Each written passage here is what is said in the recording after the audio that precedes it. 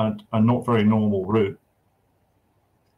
I, I, got into crypto via the route of cooperatives and local money and social money and this kind of thing.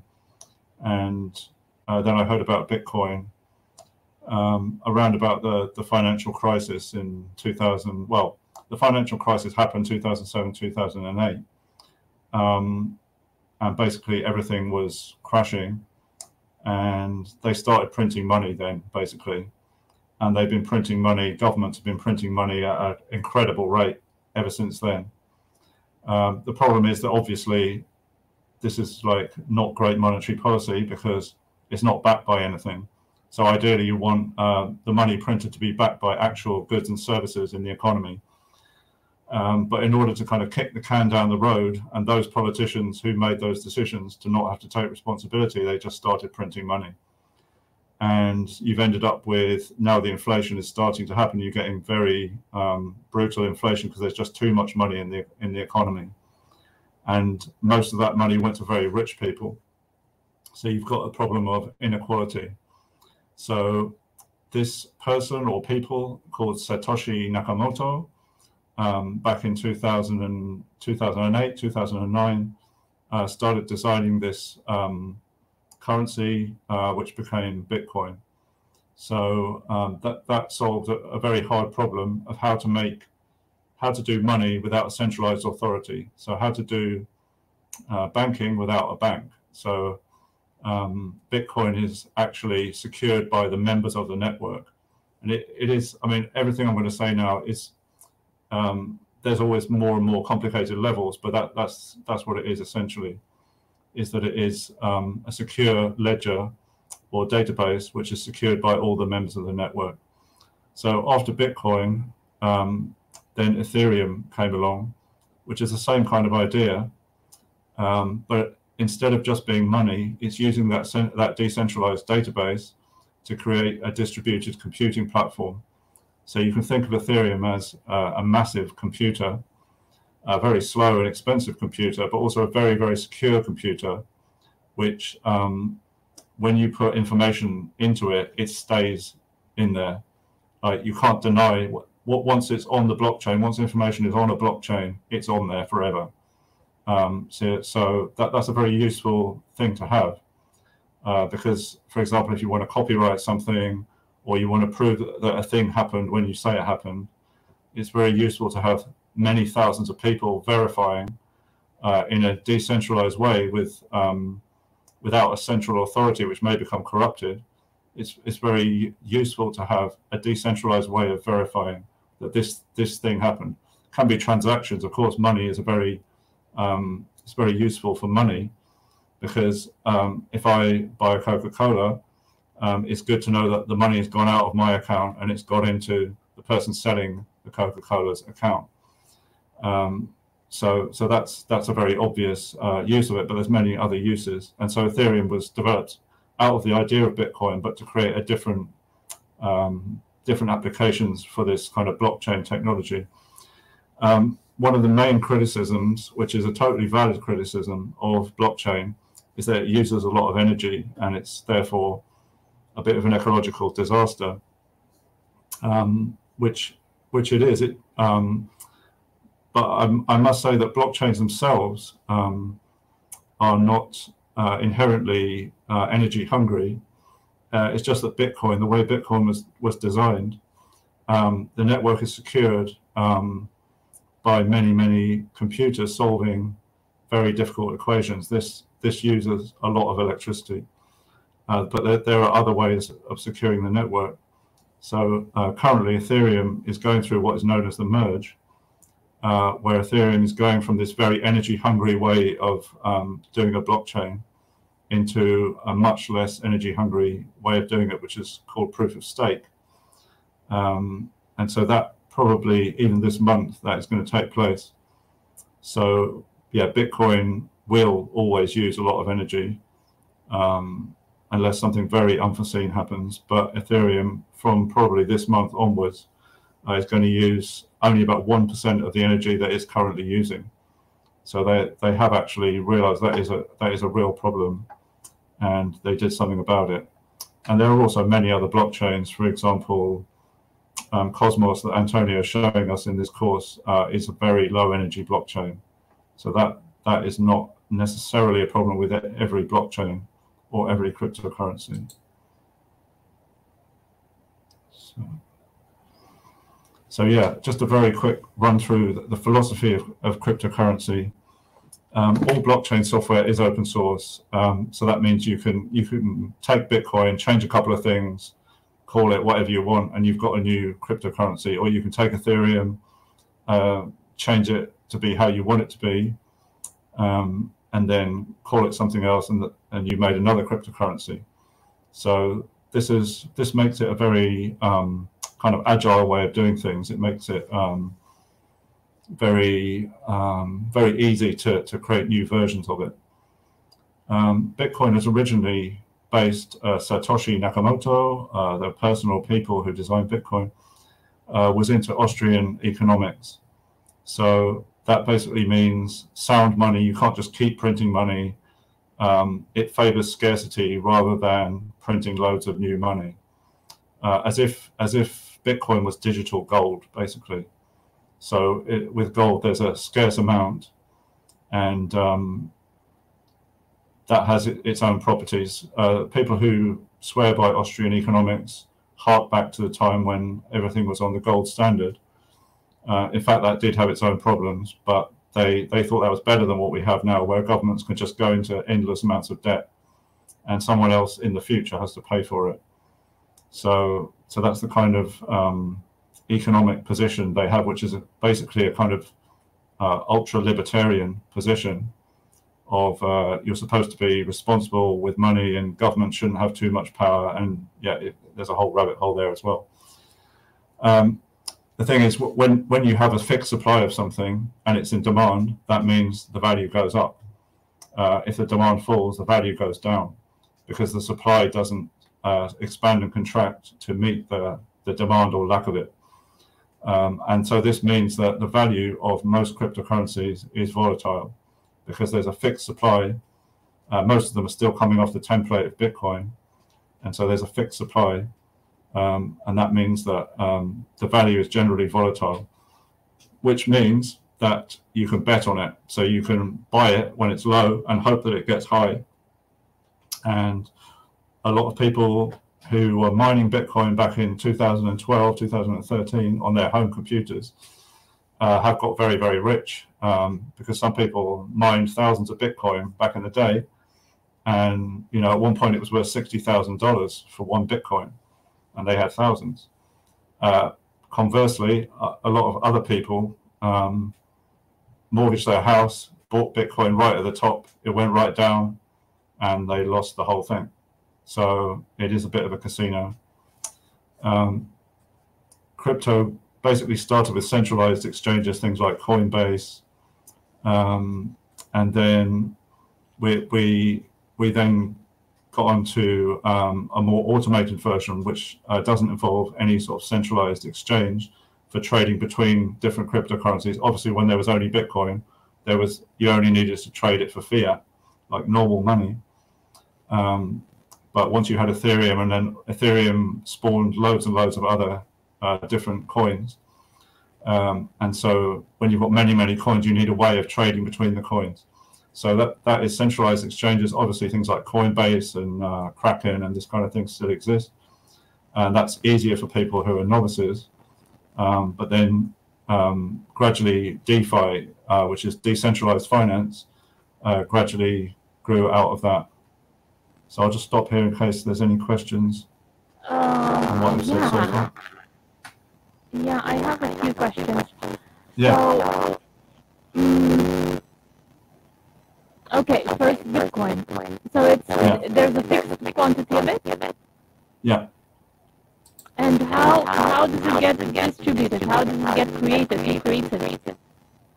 Um, it's created by what are called miners. So that okay. that's that's generally like uh, big computers uh, in places where they have very cheap electricity. So somewhere like some places in China where they've got hydroelectric uh, electricity, uh, and it's virtually free, or sometimes it even is free. Uh, or in Iceland, where they've got geothermal, they've got these big computers and these are solving the algorithms um, which are securing the Bitcoin network. So um, it's basically it's, it's, become kind of centralized because before you everyone could mine it on their home computer, and then it became a sort of uh, race for who could solve the equation quickest because they get paid in Bitcoin when they solve these equations. You see, and when, when the value of Bitcoin went up, it, it became uh, worthwhile to, um, to to buy very expensive computers uh, because it was still profitable. Um, what, what kind of what kind of equation? Uh, well, I, I, don't really want to go into like the whole like what is a blockchain and and how is it secured. It's very very complicated, and I, I so, think it's going to start. What, um, um, no, no, no, no, don't do that. Do that. But what what what are the equations for? Are they for the creation of the blockchain itself? Yeah, yeah. So so, so part, basically part, part of the equations is uh, verifying the transactions. So um, if you and I exchange value using the Bitcoin network, um, everyone else on that network who's well, I don't I, again I don't want to get too complicated, but everyone else on the network has to verify that we made that transaction, and then the miners kind of stamp it at the end saying yes, that's correct. So um, so yeah, it, it's it's all it's all verified by all the computers on the network, and then and then verified by the miners in the end. Okay, so then the miners create new Bitcoin out of yes. out of that out of nothing because of this. Yes, correct. For themselves. Uh, well, a, a, little bit of it goes to themselves. It's a bit like uh, they have to solve this equation in, in a kind of competition, and then the one who does it the quickest gets a reward paid in Bitcoin. So the faster the computer you've got, the more likely it is that you'll solve the equation, and then you get the reward. Okay, so the quantity of bitcoins then is not fixed; it's increasing. Uh, it's up to a limit, so they, they are they're still being created. Um, okay, the equations get more difficult every, every time that an equation is solved. Uh, the next equation gets slightly more difficult. So they're getting more and more difficult. You need more and more computing power eventually the equations will be so massively complicated that unless you have a quantum computer or like the you know the absolute fastest computer in the world, it'll take ages to solve that equation until finally the, then the, there is a limit. There's a limit of 21 million. When 21 million bitcoins exist, uh, then it stops. Then uh, the miners go out of business and there's no more bitcoins. Okay, what about what about, what about Ethereum? Is that that the same idea? Uh, it's basically the same idea, but the supply of Ethereum isn't entirely limited. So there's a, there's a little bit of give and take with Ethereum. Um, I think there's a sort of ballpark figure that it doesn't want to go too much over, but it's a bit there's a bit more kind of give in the system with Ethereum.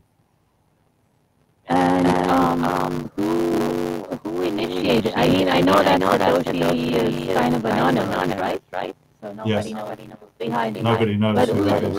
Yeah, yeah. But who's behind Ethereum? Um, who is behind Ethereum? Um, yeah, it was a group of people. They're not anonymous. Uh, it's Vitalik Buterin. Is a Canadian guy, a very young guy, still only not even 30 yet. Um, yeah, Chad said um, Ethereum's moving to proof of stake. So proof of stake is a different way of doing things, and that means that people get to choose uh, validators who are going to validate the transactions, and those those validators get paid uh, for doing the validation, and they have to actually stake their Ethereum coins. Um, and when you stake a certain amount of coins, you get to be a validator, and then you get paid for doing that. So that, that's a different way of doing it. Currently, Ethereum works in the same way as Bitcoin, the proof of work, but uh, later on this month, it will be proof of stake. Uh, okay, okay. But before that, I'm just curious. Um, um, so there's there's Vitalik, whatever, whatever. Uh, uh Vitalik Buterin, yeah, and some other people. Yeah. And some other people. people. Um, um, who who are they? Are they funded by? Uh, they, they weren't funded by anyone. Okay, okay. It, it, it was just a uh, it was just a protocol. I think they just did it in university. You know, maybe the university. So this so is sort of sort of a cheap cheap technology. technology. It's not very not expensive, expensive to set up. To set up. Uh, not not to set up, no, because it's just um, it's a software program. All, all, cryptocurrency are just different software programs. I mean, I'm sure some of the more recent ones have been very expensive to do because they had to hire loads of developers and this kind of thing. But yeah, the, the original ones, it's just been built up gradually.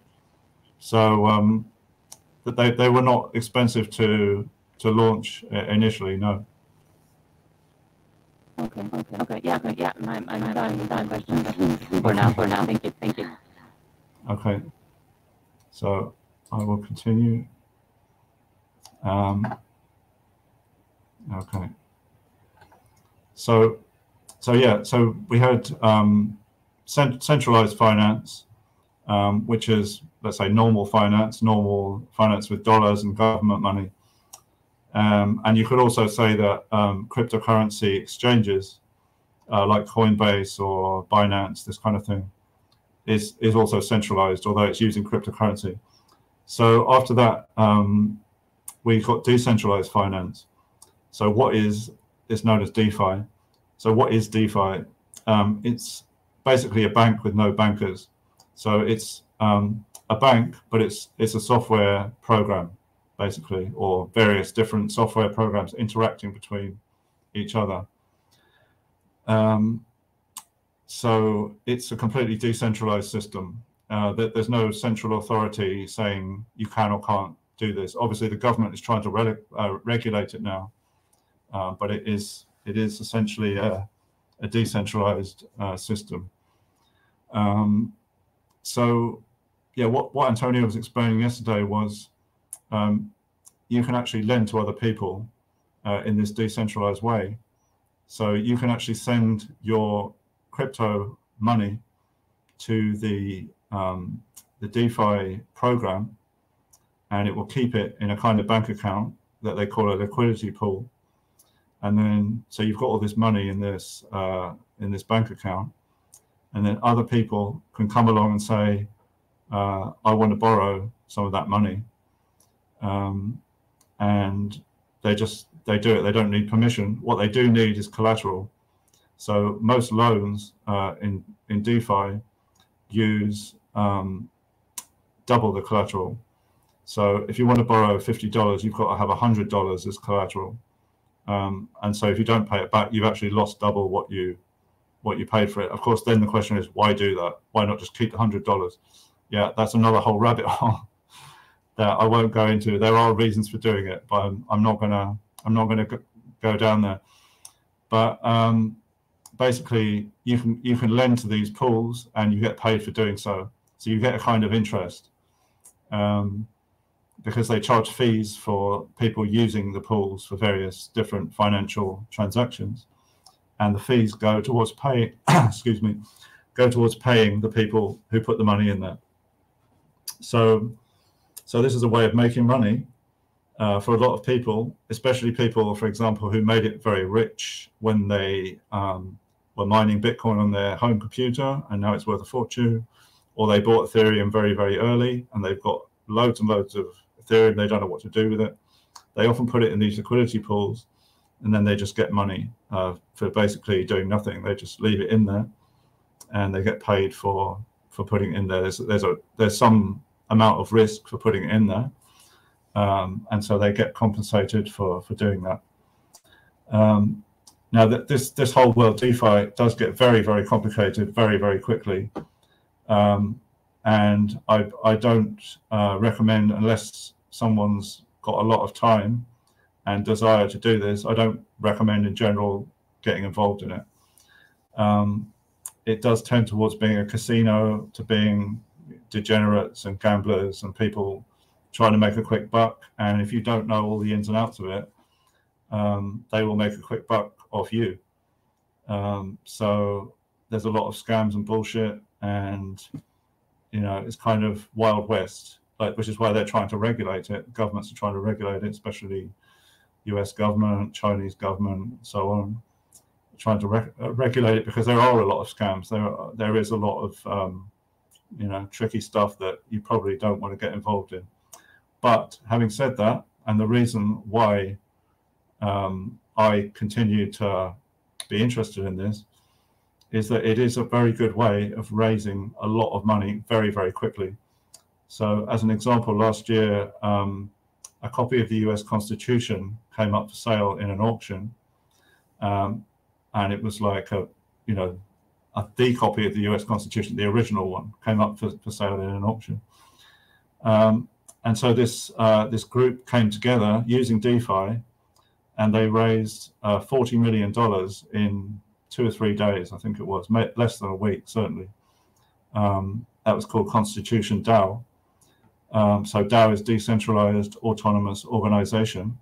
So they they made one of these organizations, and they managed to pull forty million dollars to buy this copy of the Constitution in just a very short amount of time, which would have been absolutely impossible to do uh, previous uh, to this technology existing. They actually didn't uh, get the constitution because some like mega billionaire just bought it. Um, but even so, raising raising that amount of money was a pretty uh, kind of watershed moment for DeFi. That you know, if, if people can coordinate their efforts and come together, you can you, you can pull money and do stuff uh, in a very quick and decentralized way, which can be very interesting if you're interested, for example, in buying land and regenerating it, which we'll get to in a bit. Um, we'll get to it now, actually, because this is this is basically refi is yeah. Um, um, so, so in, in DeFi, basically, when, yeah. you, when you can lend, lend, if you can lend money, money that you have to pay it back, right? right? Yes. So how do how do how do how does how does that work? Um, so if, if you get the loan, uh, you you tell them how long uh, it's going to take to pay it back. So let's say 60 days, two months. Um, if you haven't paid it back by the end of 60 days, if you haven't sent uh, the transaction for the loan back to the contract, back to the software, um, they just take your collateral so as you've okay, as you've okay. already paid double the collateral for the loan, uh, you won't want yeah. to do that. So yeah, that's okay, that's basically it. Uh, just let, let, me, let me let me process, process. Uh, okay, so it's basically, basically up, to you how you how manage, you manage that that you're you're you're paying, paying back, right? Right.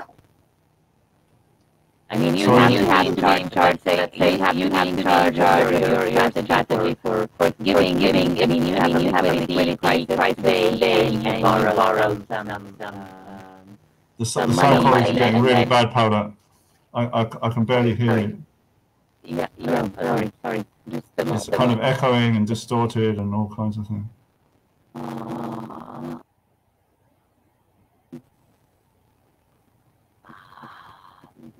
I, I, I have a have a different microphone, but I don't know, I don't know how to switch it. Um, um so, so I, I want to say, say if, if it's up to you, you how you how pay, you your, pay money your money back, right? Right? How you yes. manage, manage yes. your strategy. Okay, okay, okay. Yeah. yeah. Because effectively, there's there's no there's no human being involved. Um, you're, you're just borrowing from a contract, from an automated contract. Um, so you're not borrowing from a person. Like you, you can you can borrow like five cents if you want. It actually wouldn't make sense because there's a fee for borrowing, which would be more than five cents. But you could borrow fifty dollars.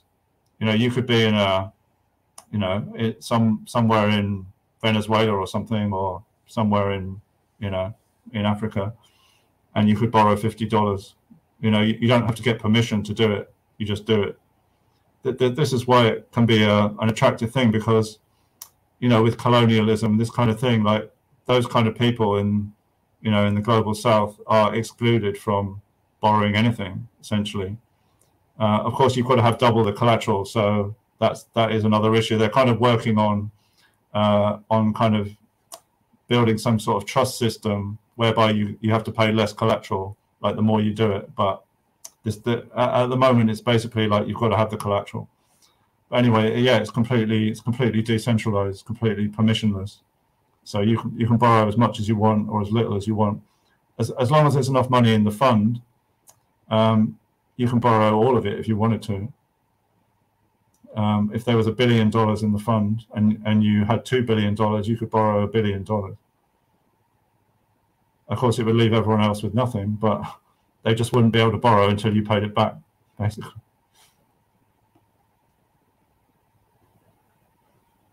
Okay, so I'll continue with the refi. So refi, um, so DeFi is decentralized finance, refi is regenerative finance. So there's all this money sloshing around this alternative system. And some people said, well, obviously we've got this climate crisis um, and we could do with directing some of this enormous amounts of money that are in crypto towards things like Barichara Regeneration Fund or, or any of the many, many projects that are out there to regenerate the earth. Um, and so, like I was saying with the Constitution DAO, um, that that was not a regenerative goal, but they managed to raise an enormous amount of money in a very short time. Uh, so that people thought, well, why don't we do that towards a regenerative goal? So, for example, you have um, a thing called uh, KlimaDAO or KlimaDAO, which um, basically big companies like Microsoft, Apple, Amazon, this kind of thing, have made a commitment. Uh, they've signed agreements to buy uh, carbon credits. Um, so they they have to buy every year a certain amount of carbon credits to offset the carbon that they're that they're using uh, in their normal business. And so um, KlimaDAO is buying up carbon credits. So it's getting people together who have got loads of crypto, and then they're buying up carbon credits. Um, so this has the effect of making carbon credits much more expensive, but these big companies have got an agreement they have to buy these carbon credits. So what what do they decide? They decide to pollute and generate fewer emissions in order that they don't have to buy these now much more expensive carbon credits.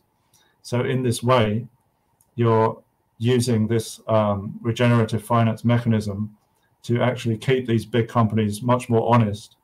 Uh, and by driving up the price of carbon credits, they're they're not able to buy as many, and so they have to regulate how much carbon they generate. They can't just generate masses and masses of carbon and then just buy all these super cheap carbon credits uh, to make up for it because they're now really expensive. Um, and also, people investing in KlimaDAO also get paid for doing so.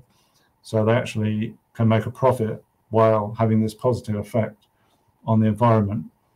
Um, and there's another one called uh, Regen Network, which is um, rather than proof of work, as is Bitcoin, or proof of stake, which Bit, uh, Ethereum is going to be shortly. Uh, they're doing a thing called proof of regeneration.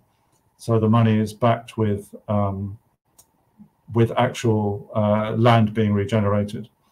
And then you have a project called Seeds, which uh, Earth Regenerators has been involved with. Um, and that is paying people to do things like start eco villages, or clean up uh, rivers or take away rubbish out of natural areas. And they get people get paid with cryptocurrency for doing that kind of thing. And they do uh, grants in cryptocurrency as well. Um, so, talking of the uh, Barichara Regeneration Fund, um, that is on Gitcoin. So Gitcoin is an important part of the of this refi puzzle uh, which is crypto crowdfunding essentially. So it's asking people to put their money that they have in crypto together and and crowdfund it uh, towards regenerative projects. It's also towards um, open source software. It was started primarily to fund open source software developers, but now it's funding uh, climate projects as well. Uh, so the way it works on Gitcoin and I, am focusing on this because I, I, know that a lot of people wanted to to understand in what way is this relevant to Earth regenerators. Um, why why do we need to know about refi? Well, essentially, we're getting to like the point of um, how this interfaces with Earth regenerators now. So basically, Gitcoin is an organization, a non-profit organization. So they go around to other um, large organizations who, who want to uh, make donations, and obviously that's tax tax deductible for them. Um, and they get they get a big pool of money together, which is called a matching pool, um, from all these big companies that want to make donations. Um, and then people come along um, with their various projects. So uh, Barichara Regeneration Fund is is one of them, or um, there's many other eco villages or um, climate regeneration, mangrove swamp regeneration, reforestry kind of projects. Um, and they make kind of crowdfunding campaigns and put them on the Gitcoin website. And then people come along um, with their crypto wallets and they donate to each the projects they like, essentially. Um, the clever thing about it is that it uses this thing called quadratic funding, um, which sounds horribly complicated. Uh, but in actual fact, what quadratic funding really means is that this big matching pool that they um, that they were donated from large organizations is allocated um, per number of donations.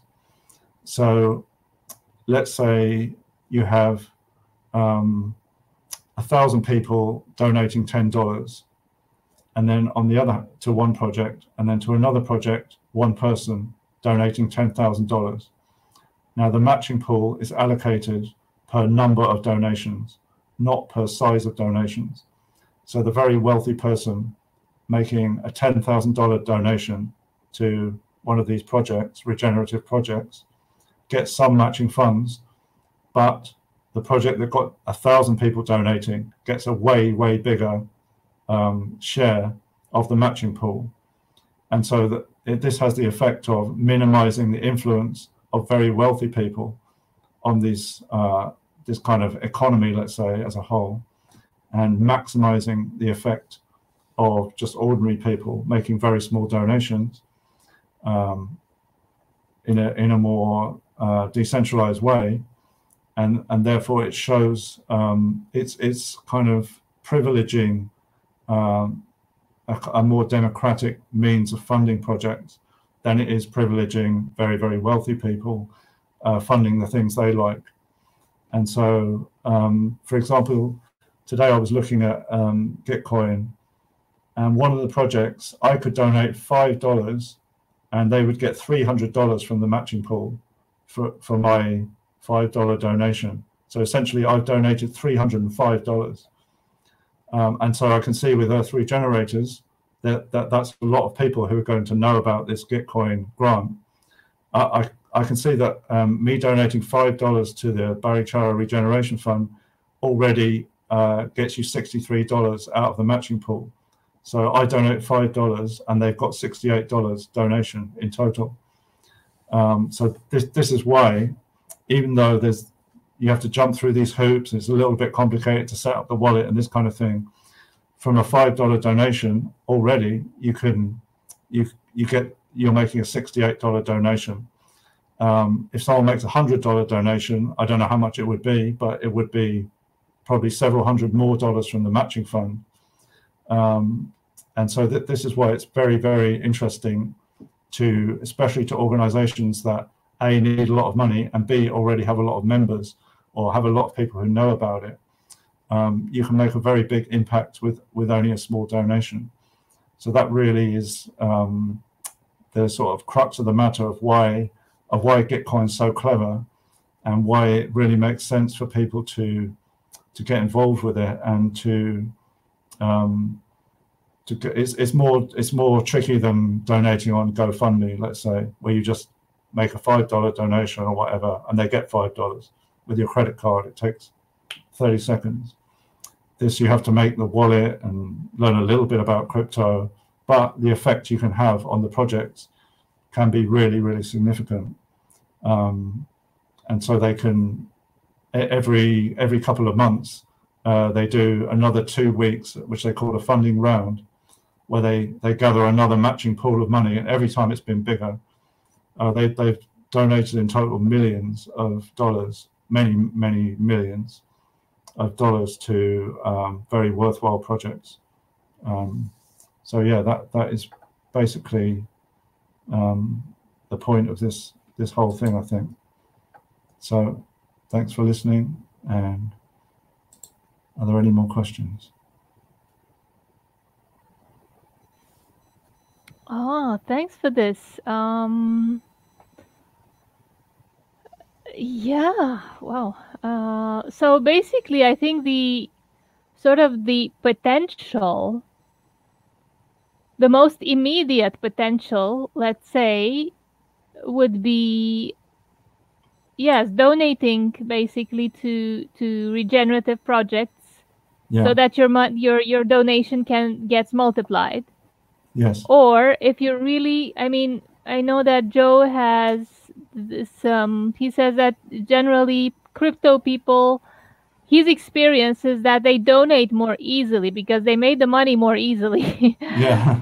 Yeah. So, Exactly. um, I mean, I, I Yeah. know people who are mining Bitcoin, like I said, in 2013, and they accidentally, basically, they were just playing around with it, and they accidentally uh, ended up with millions of dollars, and they they never planned to be rich, and they, they were not interested in being rich, and they think, what do I do with these millions of dollars? And it, eventually, it becomes a tax burden as well, so they actually want to get rid of some of it, and so things mm, like Gitcoin are saying like, give it here, you know, we, we, we'll get all these projects together um, and you can give it to them, you know? And how do you convert it? to- For example, if they have millions of dollars but in Bitcoin, how do they convert it back to dollars, or do they not convert it? Uh, well, I mean, uh, with, with Gitcoin, you actually donate in crypto, so you don't need to convert it into dollars. You maybe kind of convert it from Bitcoin into some other kind of crypto, uh, but that's that's easy to do. What once once you're Mm. inside the crypto ecosystem, it all becomes much easier. It's kind of getting inside it. There's a little bit of a hurdle to jump over. So Um, but if you if you want to, sorry, yeah, yeah, no, s tell me. If if you want to convert Bitcoin into dollars, you just sell it. So you sell it for dollars. Okay. And um, what about the other players in the ecosystem? So are they just initiatives like this, like that just make money out of nothing? Or what they think they're money or like they basically they're tokens, right? They're like Yeah, fungible yeah, tokens. yes, So they just make them out of nothing. yes. So, for example, there, there's a cryptocurrency called Dogecoin, which was like a joke. Like they literally made it as a joke. It's just a copy of Bitcoin, um, and it's all it all it was, and all it is is a picture of a dog. So it's a picture of uh, one of these Japanese Doge dogs, and it has no utility value whatsoever. And for some reason, it became valuable. People started trading it and sending it to each other as part of the joke. But it, it just became, it kind of got a value. And then once it's got a value, people start speculating on it. And then it becomes valuable. And uh, and then Elon Musk got into it and he loves it. And that, that, there's absolutely, it doesn't do anything. I mean, once it's valuable, you can pay people with it. So then, then it really is useful. But I mean, there's there's been millions of no, not millions, but there's been hundreds of cryptocurrencies that were invented, and nobody used them, and they just went away. You know, they maybe still exist, but no nobody started using it. Know, So what's and they so they what's just the secret? So what's the secret for getting a cryptocurrency used versus not used? well, for example, um, Ethereum uh, had had a use. So it's this kind of decentralized computer where you can uh, use the blockchain to run kind of applications on it. And so that actually is useful. Um, and so people started using it to, in order to use the computer. And then this this became th- this meant uh, the speculators then see like oh that's actually being used, and then they um, start speculating on it. That raises the value, and then all of a sudden it's worth something. You know. So um, Hmm. so yeah, I mean, if if you actually go into this, it, it becomes like what is value? You know, like why why is a dollar worth something? I mean, a dollar is essentially worth something because um, you have to pay your taxes in it, and if you don't pay your taxes in it, men with guns come round and put you in a prison cell. You know, so that's why a dollar is worth something essentially. That that's kind of backing up like a dollar because a dollar a dollar is not is not exchangeable for for anything directly. Like it used to be like one dollar is worth X amount of gold, but it's it's not anymore. You know. The, Okay. it's just Because people never I- think I about this find stuff. it- You know?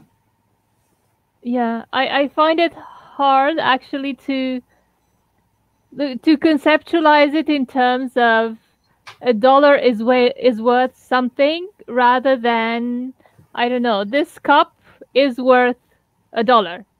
Yeah.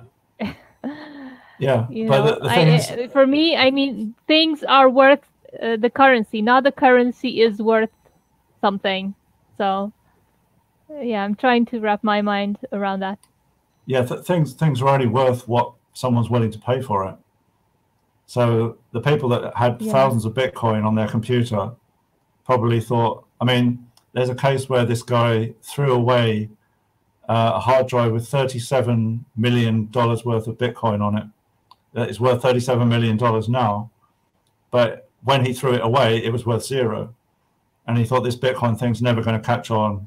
I'll just throw this hard drive away and now it's worth 37 million and he's trying he's trying to get it's in a landfill. He knows which landfill it's in. It's in england near manchester. He's trying to get it out of the landfill because it's worth 37 million. And he said to the people who are helping him get it out of the landfill. If you help me get it out it's like buried beneath like you know thousands of tons of rubbish. Um, and he said if you help me get it out and i manage to get the bitcoin off it obviously i'll pay you with the 37 million dollars that i'm going to have. Um, yeah, it's completely crazy, you know. And I think part part of this whole crypto thing is actually embracing the fact of how crazy it is. But in, in a way, it's like if you really think about what value is, you get into some very philosophical conversations very quickly, actually. So, you know, why why is why is anything worth anything? You know, because somebody wants it. That's all Yeah. if nobody wants it, it's worth zero. And Okay. and many cryptocurrencies are worth zero because nobody wants also, it. also, also, yeah, also because somebody wants it, it's exchangeable. Because I might want, you know, my mother's dress, but yeah, it's just has sentimental not- value for me and maybe my Yeah. mother. You know. Yeah, Um, but um, the, the thing is, from what I saw, like, um, but because I've been doing a bit of like reading on various re refi, for example, regen network, like on Yeah. regens, what are Yeah. regens and what they're trying to do. So basically, in refi, these tokens, normal, I mean, they should sort of, they're sort of backed by something, right? It's not just from thin air. They mean something. yeah. Yes, it depends. So it depends on the mean- cryptocurrency. For example, there, there are cryptocurrencies that are backed by solar power. So when, when somebody is generating power with their solar panels, it's uh, it's recognizing how much has been generated by their panels, and then they get a certain amount of cryptocurrency that is strictly in accordance with how much solar power they've generated. So in that case, the currency is literally backed by solar power, but others are not backed by anything. Oh, okay. Uh, That's interesting. Because in on long-term value, I would say that the ones that are backed by something have more stable value than the ones that just nothing. That, that that is true, but um, because of the element of speculation, speculators tend to stay away from things that are not going to quickly go up in value a lot. And so things like this solar token, there's been some speculation, but it's the value has been relatively low because what what speculators want is something which they can invest ten dollars in, and then a month later it's worth ten thousand dollars. And if if if it's actually backed by something, then that probably isn't going to happen. It's going to stay relative to the value of the thing it's actually backed at. But I mean, you know, speculators can speculators can do what they want. You know, like we can use crypto for other things. We can use crypto in a more you know, in a more ecological way, in a more cooperative way. So if you do, if you don't think this must make me rich in you know six months, then you can do it in a different way. Okay. Yeah, that's I think that's very useful um framing for this whole thing because otherwise I mean you just want to know about crypto. Why do you want to know about crypto? yeah, exactly. Yeah. Yeah. Um, and, thank you. Yeah, yeah, you're welcome. Yeah. Um, yeah, I think if, if as long as we don't pretend that all crypto is the same, you know, as long as we don't pretend that it's all good or it's all bad, you know, there's Mhm. there's many many types. I mean, you know, any any programmer who knows that the relevant programming language can make a new cryptocurrency tomorrow, you know, and it might have very regenerative properties or not, you know, might have very degenerative properties. So What what Depends how they about do seeds? Do do you know do you know is seeds does it have anything is it backed by something or is it just Um, seeds is not backed by no seeds is not backed by anything. Um, we're actually working on on a new version of seeds that will be more backed by regeneration. Se- seeds is actually carbon negative, um, so it's not it's not degenerative, and the sort of the way it's designed is not it doesn't encourage speculation, uh, but it's not directly backed by anything. But um, So how yeah, we how are does that work? Why um so how how does that work? So it are there is there a fixed quantity of seeds? Um, no. Uh, seeds. No.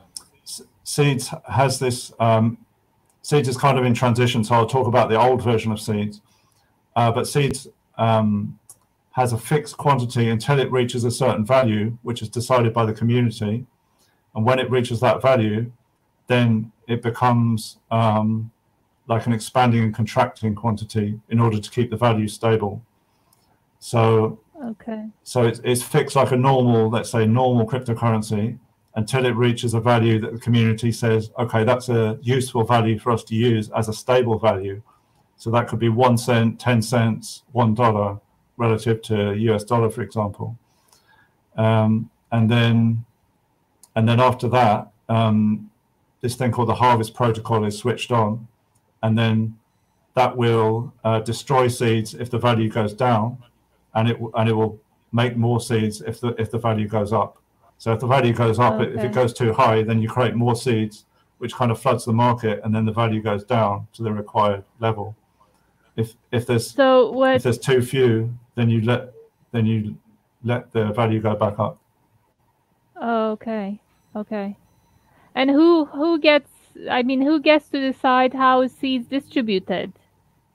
I mean who has the Uh, seeds? Somebody created them and then who who who who owns those seeds? At, at the moment, it's managed by the Seeds Commons, so that's like a group of volunteers, basically. So um, a, a lot of the seeds were given out to regenerative projects. So And what um, do they do regenerative projects what do they do with those seeds? Uh, pay people to plant trees, for example, that kind of thing. Yeah, but if do they do they have to exchange it in fiat currency? It, it depends. Like if, if you're in a community where everyone's getting paid in seeds, then you might decide to just use seeds. You, know, you might decide So that, we don't that need to change it back to be- fiat currency. okay. So those would be like maybe eco villages. Yeah. So if you're in a, if you're in an eco village, everyone's like- getting everyone's getting paid in oh, seeds, Okay. and the whole project has received a massive donation of seeds, and maybe they get shared out among everybody. Then maybe you decide, well, we don't need fiat currency. You know, we, we'll just pay each other in in seeds, and we don't need to convert it to dollars. Especially if you're in a country where the, let's say Venezuela, where the currency is very volatile and very unstable, you might decide you're better off with seeds than, you know, using their money. But then for exchanges with the outside, Yeah. they need to use the fiat. Uh, yes. So that that depends on seeds having um, an exchangeable sort of value with the outside world, basically, which is why the, the supply is still limited. No, at the moment. Okay. It doesn't. Okay. No, it's this is why we're sort of redesigning it because it, it does have some Oh, value okay. to the outside world, but you, you need many thousands of seeds to get any sort of you know fiat money at the moment. Mm. Um, but previously it was, I think seeds were worth maybe 20 cents each, something like that. I'm, I may be getting that wrong, but they, they were worth, you know, something in that sort of ballpark. Um, and now they're worth maybe less than a penny. So, Mm. yeah. But I mean, Okay. with any cryptocurrency, you can use it between people if they agree that it's worth something, and then Yeah. you know, Yeah. Yeah. Yeah, because it's about the community within which the, the, the, the currency is functioning, because that's with any currency, you know. yeah, The currency is about a community yeah, and the flows within that community. Yeah. exactly. Okay. Yeah, thank you. That that was useful. Um you know, there was this document that came this week and I, I I was part of it and there was one case study. It's about regenerative funding governance and it was on Hypha and seeds Yeah, and it was done by Anneloes uh, Smitsman. yeah, hmm Uh, you know her. Um, but I I sort of understood what Hypha is, but I didn't understood I, I didn't understand seeds from that case study, and I think maybe because it's like redesigned, as you said, it's like it's not it's it's not in its final version yet. No, no, but I, I think I think we will be uh, coming out with uh, with the next version quite soon. At least um, starting to sort of re-energize the project and get people using seeds again, and get the sort of relative Okay. value back up to something usable. So I think it, soon it will be it'll be more of a usable currency for sure. Okay. Okay. Yep. Thank you. Okay, I'm thanks Paolo for coming, and uh, hope it was useful. And thanks a lot. yeah, definitely yes. Okay, Bye.